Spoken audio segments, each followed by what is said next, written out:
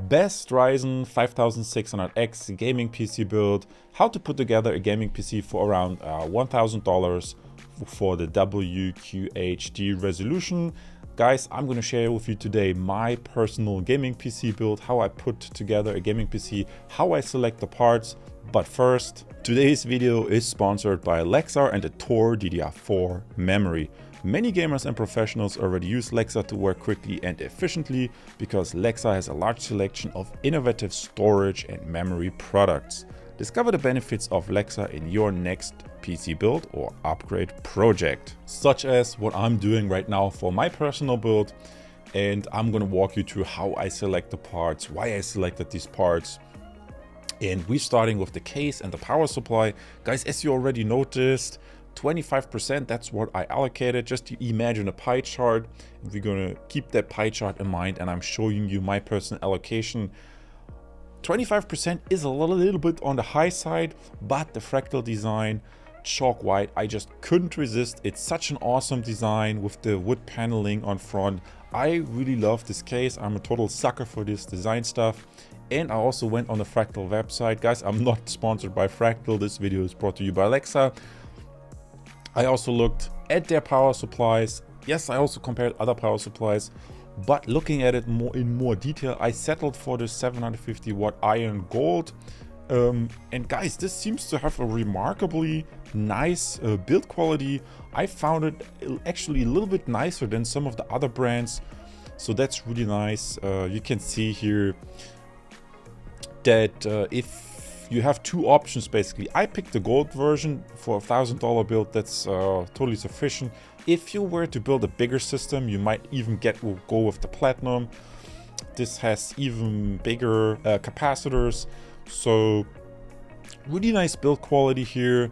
And uh, what I want to remind you though is, um, if you go power supply shopping, guys, you do at no uh, me by no means you have to buy a fractal. Really do shop around but what I really recommend you is before you settle down on a particular model, see what information the company supplies you with. A good company will always give you plenty of information about the products that you want to purchase. That makes it really easier for you to compare. And uh, that's what I took at full advantage of by looking at the different efficiency curves and the different fan curves that come with these power supplies. And I really found the 750 watt is the sweet spot. It didn't cost, in my case, it didn't cost a lot more. It cost about the same as the 650 and 550 watt model for the build that we're doing, the WQ HD build where you can play Cyberpunk uh, on high settings and a WQ HD resolution.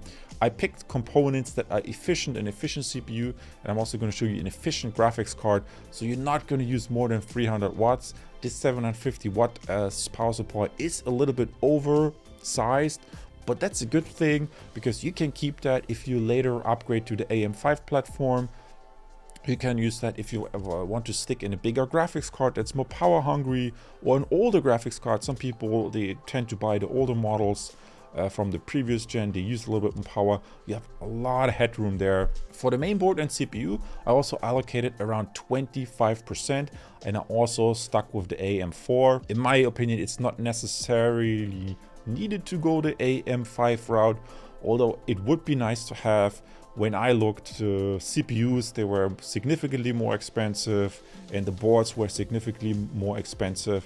Although I have to admit, the prices do fluctuate, guys.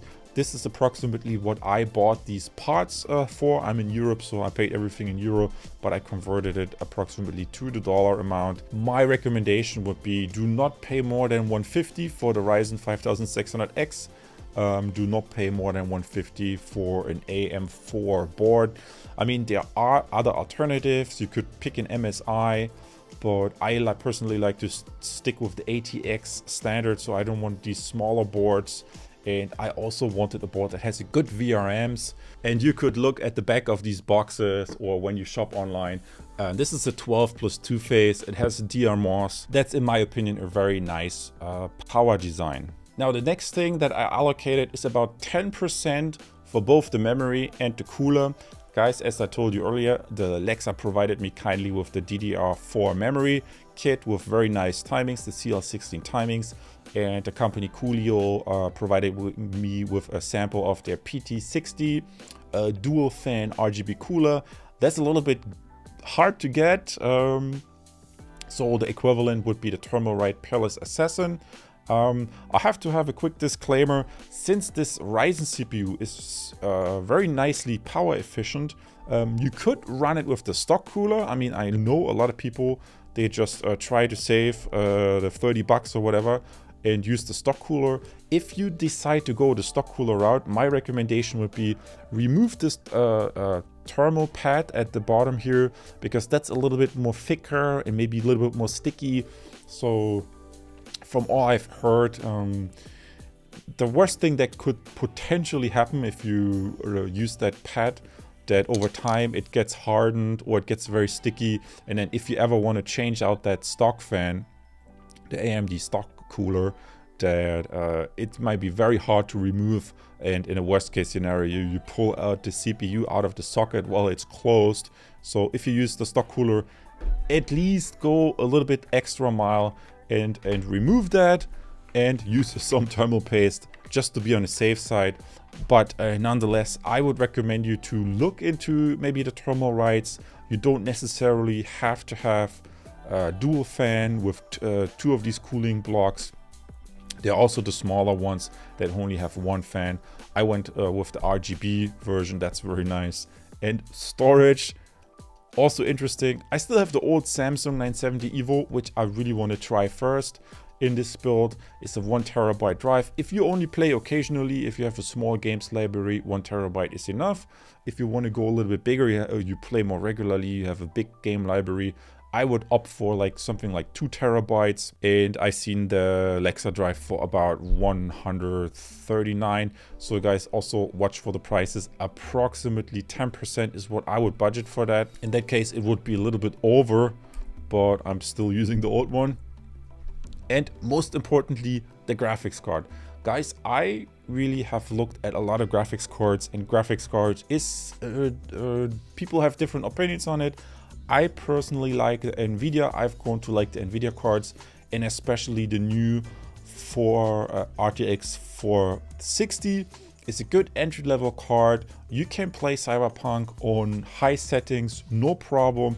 And it's also a very energy efficient card.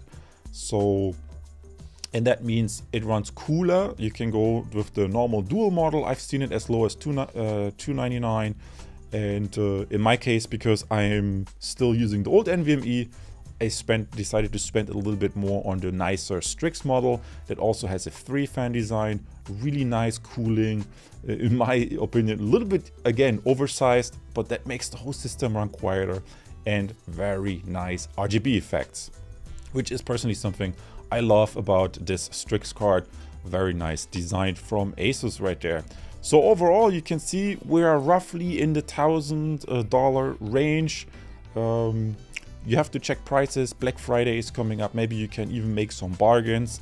And then my main home, uh, the main point that I want to hammer home with you today, think of a pie chart, make yourself a list, and then do allocations based on your taste. In my case, I told you I used the fractal case and fractal power supply, so I'm a little bit overweight uh, in the case and power supply category the board and CPU. There's the 5600X, there's the normal 5600 without the X that's running slightly slower. What I would stay away from is if you build a, if your Ryzen system, I wouldn't use the Ryzen CPUs that have a graphical unit in there, 5600G or whatever that's called. Um, I don't like those the 5600 and the X are both okay. So up in the next video, I'm gonna put the whole system together and then in video number three, we're gonna do a bunch of bench benchmarks. So if you wanna follow this build, hit that subscribe and I see you in the next video.